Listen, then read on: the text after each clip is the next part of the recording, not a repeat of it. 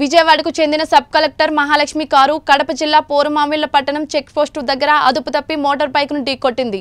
ఇటీవలే తన తండ్రి మృతి చెందడంతో ఆయనను చూసేందుకు సబ్ కలెక్టర్ మహాలక్ష్మి భర్త సతీష్ కుమార్ రెడ్డితో పాటు మరో ఇద్దరు కుటుంబ సభ్యులతో కలిసి విజయవాడ నుండి పోరుమామిళ్ళ మీదుగా పులివెందులు వెళ్తున్నారు. ఈ నేపథ్యంలో పోరుమామిళ్ళ చెక్ పోస్ట్ దగ్గర కారు అదుపు తప్పి మోటార్ బైక్ను ఢీకొంది. విజయవాడలో సబ్ కలెక్టర్గా బాధ్యతలు చేపడుతున్న మహాలక్ష్మి తండ్రి పులివెందులలో మృతి చెందడంతో ఆయనను చూసేందుకు సబ్ కలెక్టర్ మహాలక్ష్మి భర్త సతీష్ కుమార్ రెడ్డితో పాటు మరో ఇద్దరు కుటుంబ సభ్యులతో కలిసి విజయవాడ నుండి పోరుమామిళ్ళ మీదుగా పులివెందులకు వెళ్తున్నారు. ఈ నేపథ్యంలో పోరుమామిళ్ళ చెక్పోస్టు దగ్గర కారు అదుపు తప్పి మోటార్ బైకులను ఢీకొని ఆరుగురు ఢీకొట్టింది. ఈ కారు ప్రమాదంలో ఎవరికీ ఎటువంటి సంఘటనలు చోటు చేసుకోలేదు. సురక్షితంగా బయటపడ్డారు. ఈ విషయం తెలుసుకున్న పోరుమామిల తహసీల్దార్ ఆలీఖాన్ రెవెన్యూ ఇన్స్పెక్టర్ సిద్దేశ్వరయ్యలు సంఘటన స్థలానికి చేరుకుని మరో కారులో వారిని పులివెందులకు తరలించారు. ఈ మేరకు పోరుమామిల పోలీసులు కేసు నమోదు చేసుకుని దర్యాప్తు చేస్తున్నారు.